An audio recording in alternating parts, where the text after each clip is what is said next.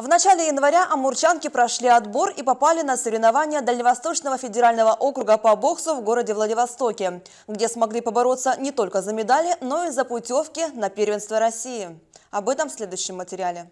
Краевой столице стартовало первенство Дальневосточного федерального округа по боксу среди юниорок 17-18 лет, девушек 15-16 лет и девочек 13-14 лет. За награды первенства боролись 92 участницы. На турнир съехались представительницы всех субъектов Дальнего Востока. Амурск представляли две девушки – Волохова Валерия и Агульник Анастасия. Девочки приняли вообще первые соревнования. Э, у нас, допустим, Валерия Волохова, она первый раз поехала – выступила, я считаю, на высоком уровне.